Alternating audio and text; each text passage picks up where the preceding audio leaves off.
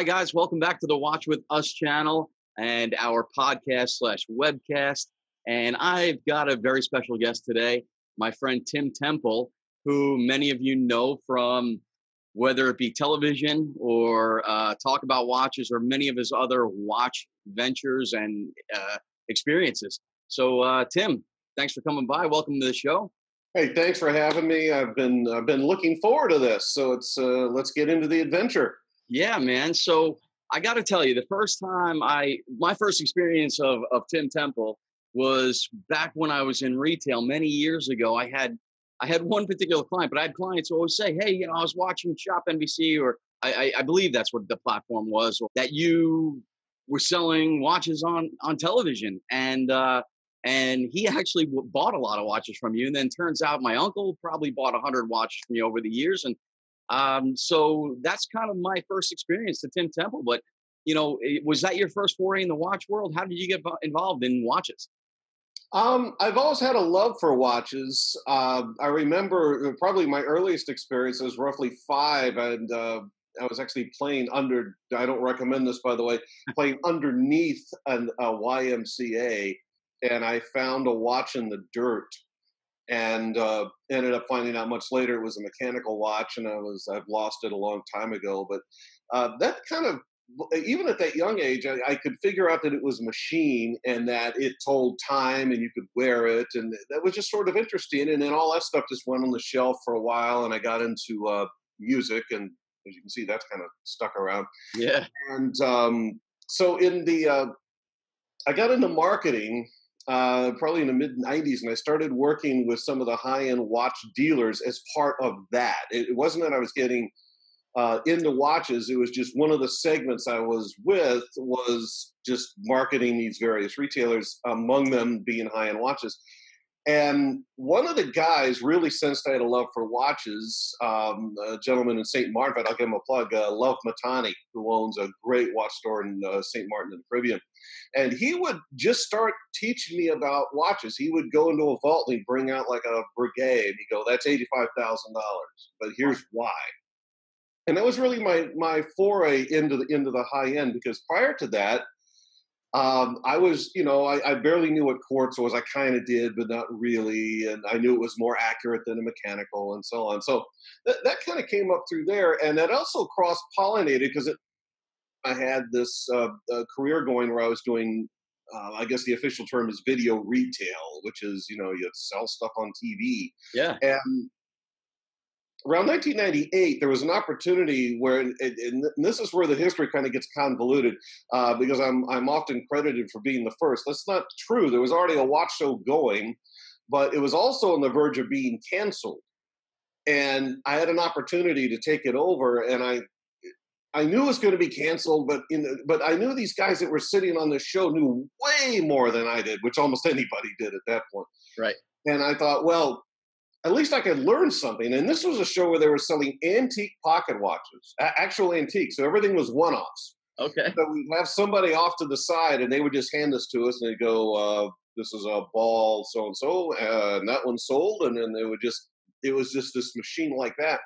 But in the course of the of the dialogue, I started picking up on it, and then um, this was, uh, by the way, with a gentleman uh, named Jeff Hess. Yeah, you, you, should probably know. Right? A lot of you guys might. I mean, this is if you don't know, he's the guy that wrote, among other things, the unauthorized biography of Rolex. And this guy is a walking thesaurus in wristwatches. Right. Um, which is why I will never ever call myself an expert because I've met experts. Yes. And he's one of them. Yeah. You know, I've I've had a chance to hang out with the with Thomas Prescher and some of the living greats, and you do that for five minutes, you realize you don't know anything. One hundred percent. I've always felt that way about Jeff. I've always felt that way about Ray Grennan up in Newport. Uh, right. Just, there are some guys who are encyclopedias. Uh, uh, the guy from uh, Govberg's Watchbox, uh, uh, Tim, I believe his name is. Uh, you know, the guy who wears a sunglasses upside down. A a absolute encyclopedia, and I, I totally understand what you mean because you know, I've been in the game for for a long time, and you know, just when I think I start, you know, that I'm I know stuff, you spend some time with a guy like that, and next thing you know, you're like, well, I'm I'm a novice. Yeah, yeah, and, I think that's a that's a healthy thing. I, I think that's what inspires uh, watch guys and girls to talk to other watch guys and girls because 100 percent your information. Just like I personally, I don't like hanging out with everybody that thinks like I do. No, um, I think that fosters. Uh, it, it, it's it, it's a lazy way to think. Yeah, um, because you're you're not going to get any pushback, and you can spout the the biggest ignorance or whatever, and everybody goes, it's like no. So either challenge what I'm I'm I'm thinking, and you're either going to reinforce what I'm thinking, or you're going to make me reassess what I'm thinking, and that both of those I think are healthy, uh, which is way off topic, but anyway, that's that's uh, thing. So Jeff on the show, now he had an idea. He goes, I got six of some. I don't even remember what it was. Let's just see if we can sell multiples. And it turns out we could.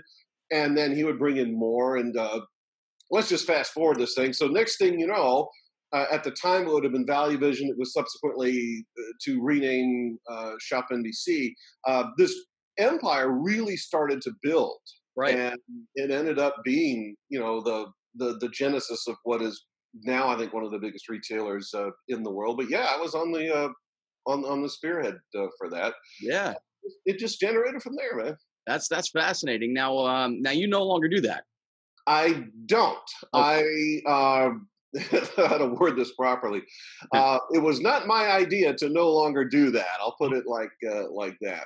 Okay. And um, so I left, and it was interesting that the very next day I started getting calls from uh, watch brands because I'd maintained relationships over the over the years. Sure. And this is what was the immediate genesis of what we now know as talkaboutwatches.com, uh, which for those of you who don't know is is something that I uh, basically uh, founded and, and have now developed some great partners with.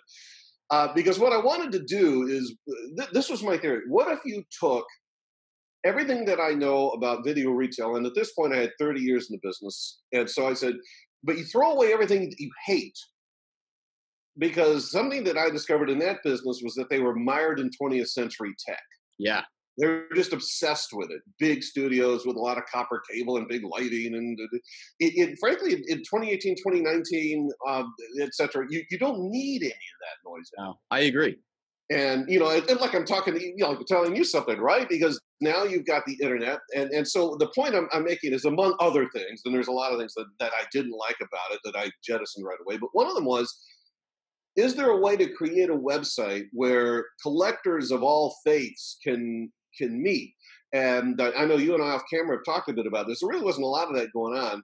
And uh, so that was one thing, but also how to differentiate that. What if we could make a website that isn't just another deal of the day or isn't just another retailer? Do both of those, but back it up with custom video, right? And invite watch guys to be a part of the show, just be on the show and literally talk about watches. By the way, the the reason it's called talkaboutwatches.com is I got into a habit that I picked up on years ago. I would always open the show on television with, "Hey, everybody, let's talk about watches." Yeah. And then, so that day when I'm getting the calls, I just went on a URL search and it was available. That's how it got named, and it's stuck, and it's actually worked out really well because I like TAW. I think that looks good. Yeah. And so th- that's kind of how it came about. Is like you you you jettison everything that you you didn't like, and it makes us a lot leaner and meaner. And uh, it, it's the growth has been huge, and I think it's due to uh, I think we've struck something among watch guys of a lot of different levels. That's fantastic. Uh, you can collect there. You can share ideas there. There, there's custom video. Just another website. We've, we've created something different, as have you, uh, by the way. And again, I mentioned this the other day when you and I were talking. Is uh, I think that one of the things that you're doing is filling a niche that needed to be taken care of to create a place where you've got watch guys and girls of different uh, stratospheres and you've got different uh, levels of, of, of, education and so on but where can you meet in in the commonality and, and share the kindred spirit and and you've achieved that it's pretty cool yeah you know it's i mean for for me I'm, I'm the guy that if I if I'm standing in line at 7-Eleven, I see you wearing a cool watch, I'm going to strike up conversation with you. Right. You know, I just genuinely and like you, genuinely enjoy talking about not, not only just the watches themselves, but the collecting of it, uh, of them, the you know the history of the brands and and just and different ideas you know I, I, always I always laugh when there's these watch snobs online, whether it be in Facebook or on forums or wherever else, and oh, and they're they're snobby and they, you know, they've got their opinions about what's good, what's not. I mean, we talked about this the other day. I don't care what you're wearing. I don't care if it's a ten dollar watch or a ten million dollar watch, and anywhere in between. You know, I just love the hobby of it and the collecting of it. What I also like is that it brings such different people together.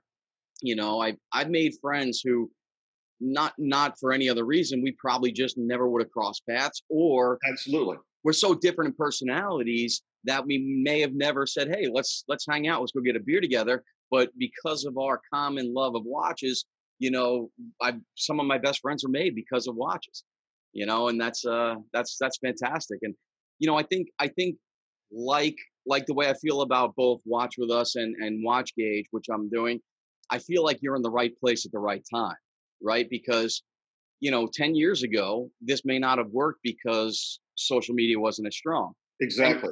10, 10 years from now, everybody's going to be trying to do it. And, um, and I think that, you know, like the way I feel about what I'm doing with the different things I'm doing, I think you're in the right place at the right time. You're the right person to do it. So that's pretty awesome. Well, uh, thank you for saying it, man. I, I, I really appreciate that. Yeah. Uh, I think that we're, we are going to be launching to the next level fairly soon. I think part of the brilliance of that, as will you, is we're going to be using a tech that we don't even know exists as we're doing the show today. Right. And it, it's being where you and I are creating what we're creating is talking to our customers every day, talking to our audience base every day, but also staying on the bleeding edge of where, where tech is going. And whereas I view video retail they're they, they've got so many and I, by the way this is not picking on any particular channel. There's one thing i know from every channel. I've been to a lot of them around the world.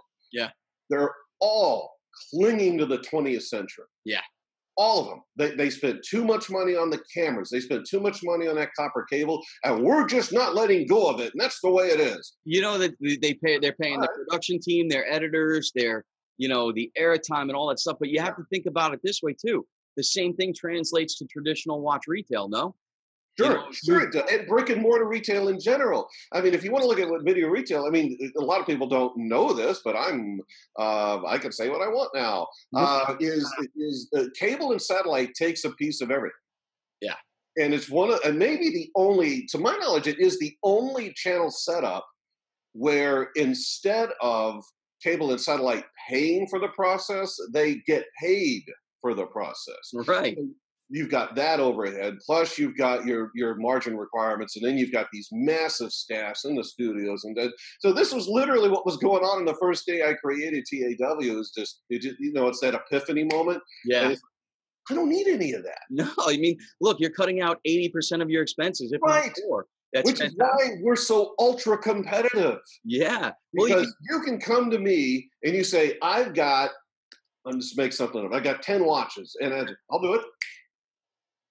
You know, I don't have to go to a committee. I don't have to get it so and so. I don't have to say, well, the margin is this and so and so is that. And then you've got to send in the sample and then the QA is going to, and that's another thing too. Work with people you know. Yeah. So your QA is already taken care of. Yes. Uh, there isn't all the superfluous shipping and everything else. And it just, it's leaner and meaner. And you, by the way, you know who wins? Everybody. Everybody. Consumer wins. You get a better watch for the money. You get education included. Uh, in fact, that was uh, talk a little bit about. I don't know how many of you guys have picked up on the show. I do now, but it opens every show opens with this uh, warning label. I love that. And it says, "Warning: This make uh, this the following may contain frightening pieces of information." Yeah, that's because the last network I was at when they decided to get rid of me, this was the actual stated reason, and they got they got rid of me over the phone, by the way. Um, as they were hanging up, this is what was yelled in the phone: "You frighten the audience with information." now, first of all, that's one of the greatest sentences ever constructed in the English language. that's an amazing sentence. Yeah. And then I went, "That's that's a that's extraordinary. And so that's why I opened the show that way. So it's been an inside joke, and now maybe it's a little less inside. But that's. Uh, I'm, I'm going to tell you something I've never said. Yeah. That warning, the first time I saw that on the video, I go, I, I saw it. I'm like, damn it! Why didn't I think of that? That's that's. I love that warning. And this Like this it makes you feel better. I didn't think of it either. well, no, no, you got it. It's great. I mean, but I'm thinking, I'm like, wow, what an attention grabber. That is so cool. Damn it, I missed the boat on that. And right, it, it's just the, the, the fact that uh, that that it was uh, that I was actually sharing information yes, was was, was cool. detrimental. I love um, was fascinating. It still fascinates me because to, I, am such a believer in the informed consumer, and including myself. You know, I'm sitting here in my uh, uh, recording studio in Nashville. All right, every piece of gear that I see, you know, that, that's back here, and lot, you can't see. Um, I researched everything. Yeah, and I still got some of it wrong, but I, I was informed. Yes, I went and talked to others, and I think that people uh, like one of the questions I do on my show, as you know, is, is I will say, what what advice do you give to collectors? Um, one of the advices, uh, the pieces of advice I, I, give is is know what you're buying. And I know that sounds trite, and I don't mean it like that. Um, who are you buying it from? Um, how long have they been around? What's the brand? What's their story? I mean, these are really basic things. And if you'll just, and by the way, this is not something that I think you're going to have to spend a lot of time and is drudgery. I, watch collecting should always be fun. I was gonna. I was just gonna say that that's part of the fun is yes. learning and researching and and seeing what people are saying about it online. You know, if you know everybody sees a picture of a watch scrolling through their Facebook feed or whatever, and they see a watch, oh, that's good looking, and then you start researching that and saying, okay, what's it made of? And that's part of the fun of watch collecting. I mean, why do it if you're not going to enjoy that process? It's, I'm sure the same goes with with audio equipment and with sure. any other any other collectible or or purchasable thing for that matter. It, it, it, really does, and it, it, um, it, you know to keep this in just in line with watch collecting. I, I, think one of the important things that's going on is that the the more informed you are, you're going to make better and wiser decisions uh, for your your collection. Sure. Um, uh, case in point, have you looked at your collection from a uh, an appreciation or depreciation standpoint? Um, I personally never present watches as investments. You'll never hear me use the I word in anything I do. Nor do I. Because I think that's wrong. Yeah. And it doesn't mean that that some, and uh, again, some of my collection hasn't appreciated. Right. Like my quinting is worth many multiples. I mean, there's several that I've done, if I, which I won't sell, but if I ever did, I would do really well. Yeah but that's not the point. I I, I don't trade these as commodities, and, and I, I, think, and I've heard this over the years, and I'm very pleased to say I've never personally done it. Nope. But I have heard it any number of times. You need to invest in this, and this this is such a great investment that you're going to pass on. And that no, no, it's not. Yeah, I agree. But you can have a lot of fun with it, and it doesn't mean that you can um, not end up with something that can be really valuable. And by the way, as I just mentioned, there are instances where you might see an appreciation, but I can tell you, you know, if you want to minimize the downside, is just know what you're buying. 100%.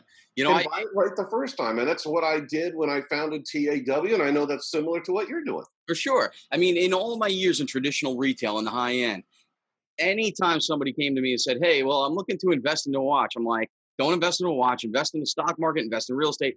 Do not invest in a watch. And and I have also heard salespeople say, "Well, this watch is going to be a good investment." That is, to me, that is the cheapest sales tactic when it comes to selling a watch. Because the truth of the matter is, nobody knows what the watch market's going to do.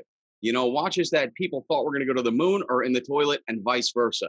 Yep. So, you know, when people approach me and say, "Hey, I'm looking to invest in a watch," I'm like, "Don't buy a watch then buy a watch because you enjoy the watch, you know, and uh, I totally agree with you. And and for those watching, if any anybody selling you a watch ever says it is going to be a good investment, don't walk away from them. Run. Yeah, yeah. I, I absolutely. That's a, that's such a valid, sage piece of advice right there. Uh, watches are, are not investments, and, and, they may or may not go up. And honestly, they're probably not going to increase in value. But it doesn't mean you can't minimize the downside. And, and back to your original point, which is you should be having fun with this anyway. Yeah. But it doesn't mean you have to have fun and also see, you know, like a massive degradation.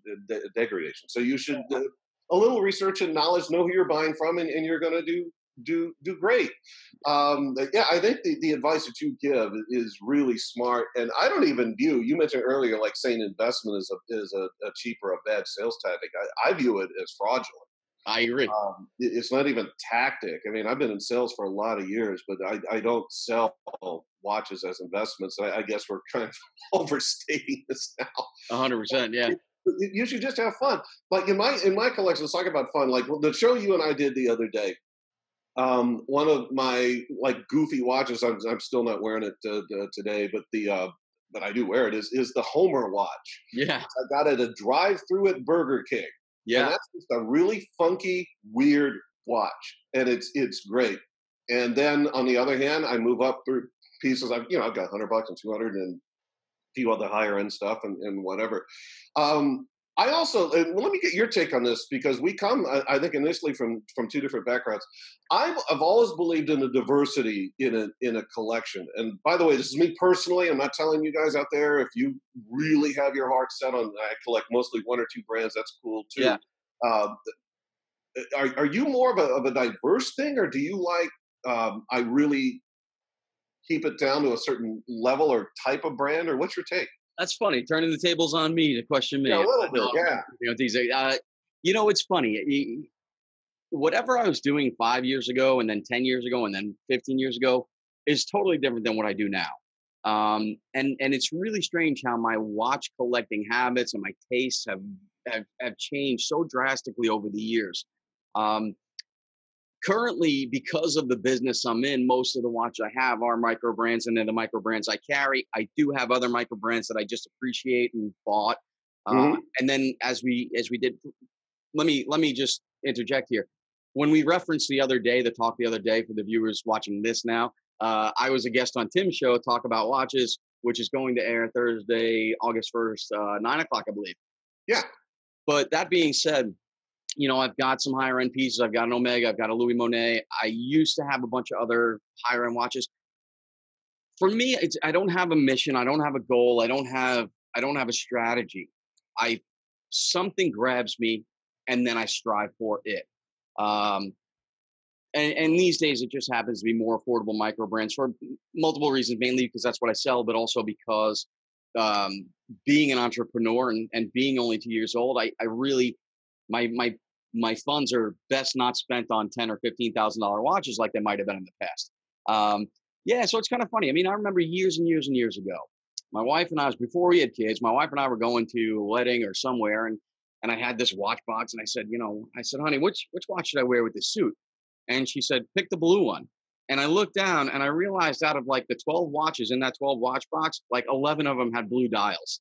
You know what I mean? So and my collection is nothing like that today. So it, it's it's strange. It's evolved so much, and um, you know I, I enjoy that evolution. And I don't. I'm very open minded. Where I used to say, you know, I'll never wear, you know, let's say a compact chronograph. Now I love them, and oh, just as an example, I never I never put something in my head and say that's that's solid. The only thing I the only thing I don't personally like is diamonds on a watch, and that's just me personally. And I don't love all gold watches because I'm really I don't honestly, it looks terrible on my pale skin, and uh, and that's just not me. But who knows? Ask me in five years. I might be wearing a gold watch with diamonds. I don't know. You know. Well, I think that comes back to the you know what what I consider part of the magic of of, of watch collecting. You've got so many brands that are uh, competing in the marketplace, and and some I think are, are doing cookie cutter and are very state ideas, and then there's others that are, are really innovative. Uh, which, which I think brings us to micro brands because I'm a big like you. I'm a big fan of the micro brand.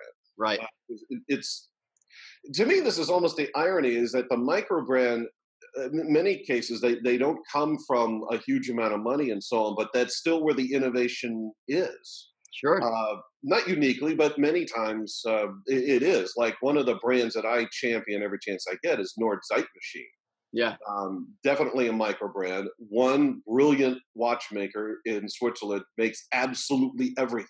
Right. And he reinvents how to tell time with every watch. And the moment I discovered him, and, and, I know you just mentioned that you'll get you'll get like your target on something. It's like I'm getting one of those. Yeah. And I ended up selling a lot of the collection, and you know just worked it out and just made it happen.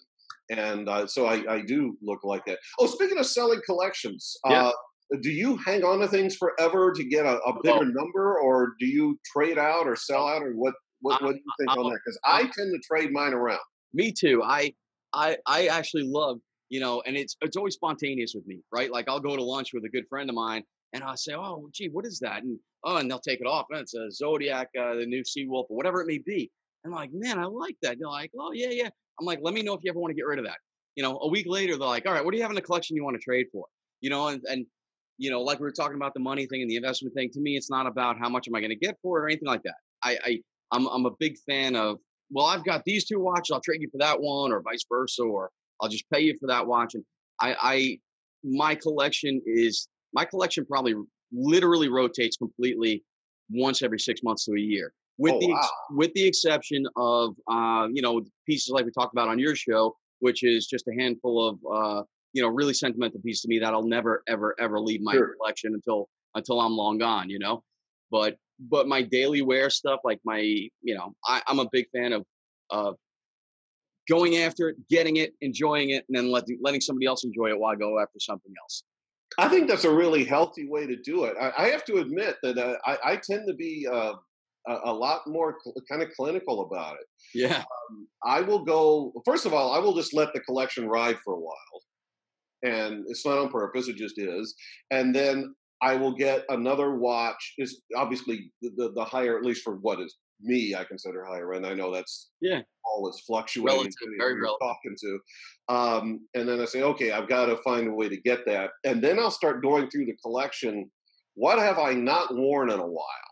yeah, and is it sentimental or not? And all of a sudden, I find, okay, I can put that, that, that, that, that, that, and then I will just contact people I know that buy watches, or I'll do auction sites or things like that. For the record, by the way, I never have sold these through TAW, and I have no plans to. yeah, Just to get that little caveat out there, but uh, Sure. and then I'll, I'll get the new one, and then you know the whole cycle starts up uh, again. yeah, I- I have to admit, and I do think it's really cool that watches have a lot of sentimental value for various reasons, and I think they're really important. Uh, uh, they can be engraved for you or from a very specific, special individual, and so. on. Uh, I don't really have a lot of experience with that in, in watches. I just get them because I like them, yeah, and it wasn't so much sentimental. Even though I have a couple I've received as gifts, that like you, that they're just not for sale because they were gifted from someone that I greatly appreciate. right. But other than that, it's like I've not worn it in a while. Why? Yeah, it's like, ah, okay, we can get rid of that one now. So that, that's um, my very unclinical management of uh, of uh, watch collecting. That's cool. That's cool. So so tell us TAW, right? So Yeah. you're doing you're doing you've got the website where you sell you sell watches. Sure. Right. You've got the YouTube channel. What else? What else? uh, What what should people know about TAW? What your plans are? Where you going with it? Um, okay, uh, multi-tiered question. Um, first of all, we built TAW from the ground up to be different because one of the things I realized very early on was that the multitude of, of watch websites, I mean, certainly you can acquire watches there and so on, but you can't really look at the watches in 3D. They'll put up a couple of images. And I'm not saying that all of the watches that we show have video, though we are working on that. But I tried to bring my video retail background into it and, and also my uh, photography background, uh, because besides the whole music thing, uh, to get in a little bit of well, what else do I do? I hold almost 20 international medals as a photographer. Wow. So I ended up with, um, you know, there's a lot of photography gear and so on.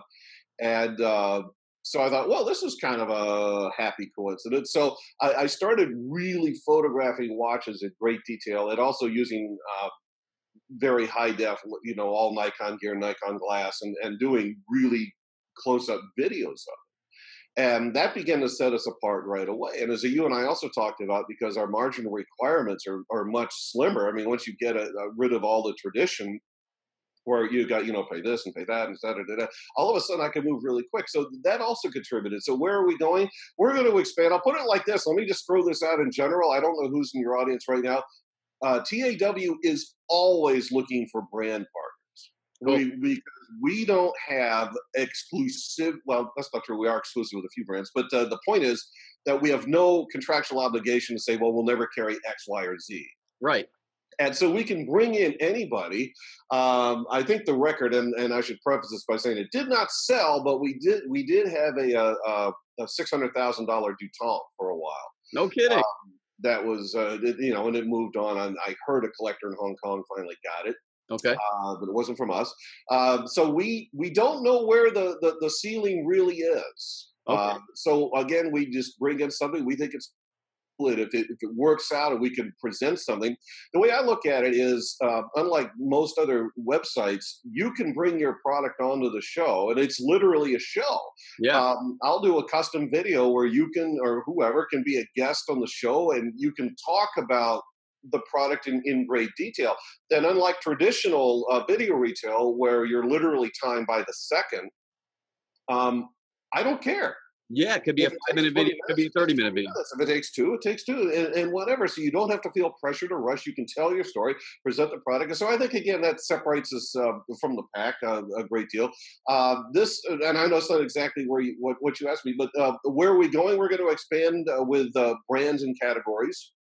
And uh, we're looking at a couple other uh, possible uh, partner options, which is going to, uh, and again, I know these are ifs, but it, when it hits, it's going to you know move us up to the next level but that, that's basically uh, where we are um, very mindful of customer service always we're very big on the Yeah. on the white glove thing That's Uh, very important these days, especially when yeah some- exactly when you're not selling in person. That is so important because you know you got to give that person the the the feeling that they're comfortable buying what they're buying from you. Correct? And and uh, you know we, we guys like you and guys like me, we have to bend over backwards, and not, not that it's an obligation. We do it because we enjoy it, and that's how we want to be treated. exactly Yeah. it's so- not people and that's something else that initially i didn't do for a while was i avoided uh, the the phone call yeah. I just wanted to keep it on the mobile devices and so on.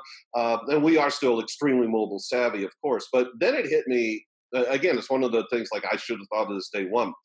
Uh, people need to speak to somebody if they're making a purchase. Not everybody, but some people do. So I set up the program Talk to a Watch Guy Mhm. because again, it, it's I, I don't want to ever get into the boiler room mentality.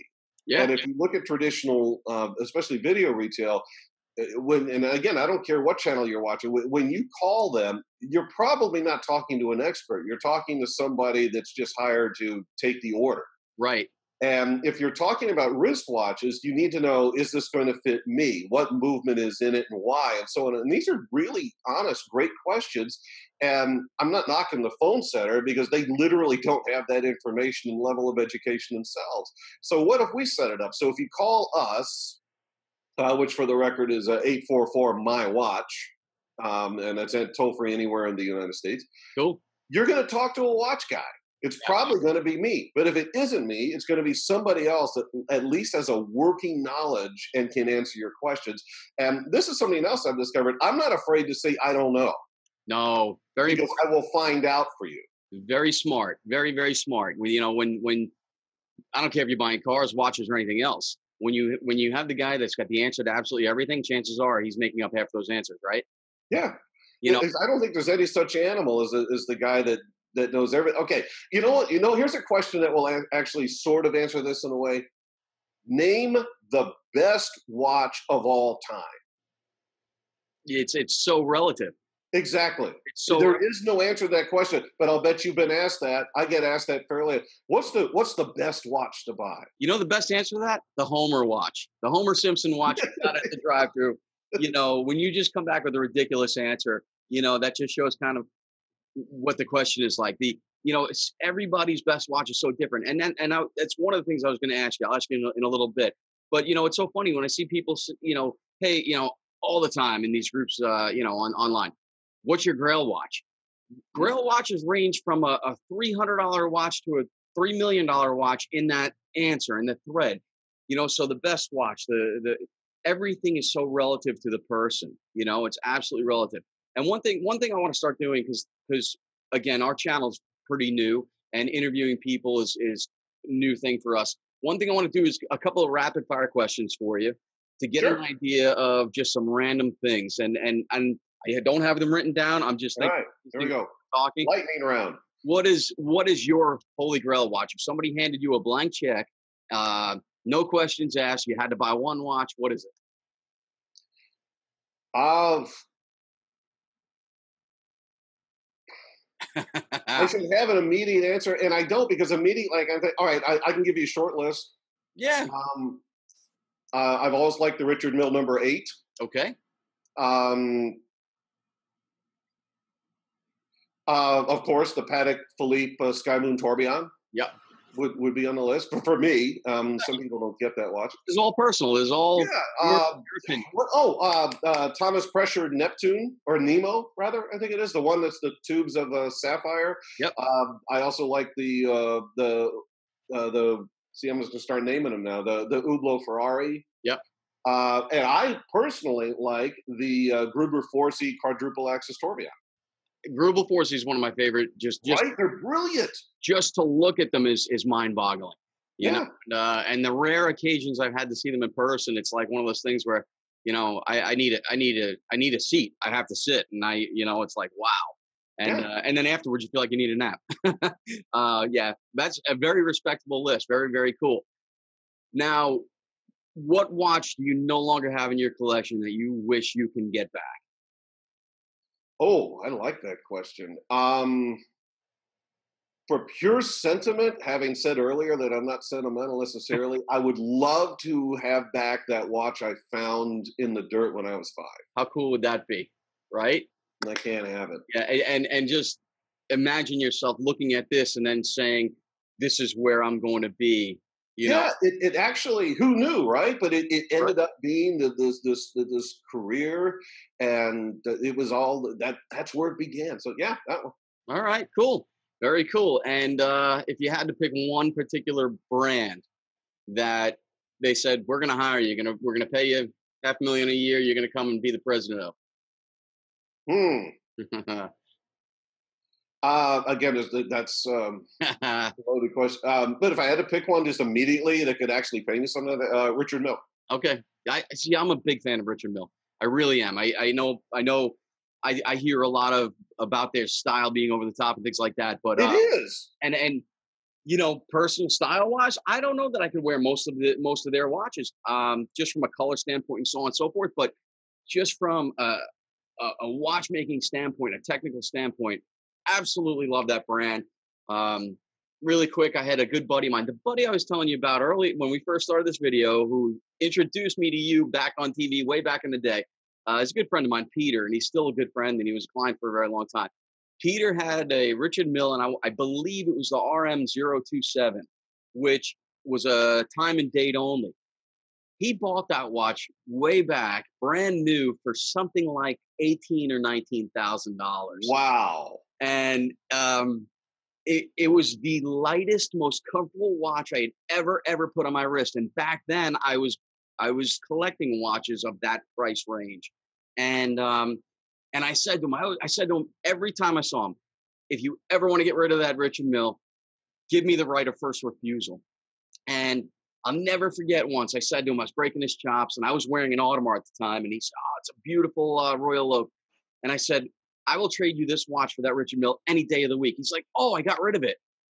And I remember distinctly wanting to climb over the counter and strangle him. Um, and he ended up selling it for, for like 22,000. I think that same watch is going for multiples of that now. And Oh, I'm sure it is. absolutely love that. Absolutely love that. So let's, um, let's wrap this up only because I want to keep our viewers, uh, not, you know, I want, I want to keep it within a time frame that they're going to stick around and watch the whole thing. But sure. Tell us where we're going to find you, where where we can follow you, and uh, and and all that kind of stuff. I would uh, love to hear from you guys. Uh, you can hit me up. Um, let's see. Uh, phone is 844-699-2824. That's uh, 844 my watch.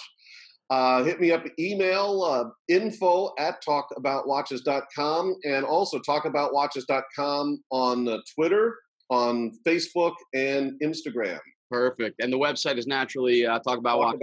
talkaboutwatches.com and there's also email link there oh also everybody sign up for the, the newsletter um, i keep you guys really updated there with the news of the industry plus uh, deals of the day and what's going on at taw and it's all uh, uh, free to join so please do Absolutely. So thank you so much for taking the time. We wish you the very, very, very best of luck with this venture. It's really interesting. I, from a personal standpoint, love what you're doing because I love seeing guys out there that are doing things that are different in the industry and and trying to advance what the industry is doing. And uh, you know, we'll we'll be sure to stay tuned.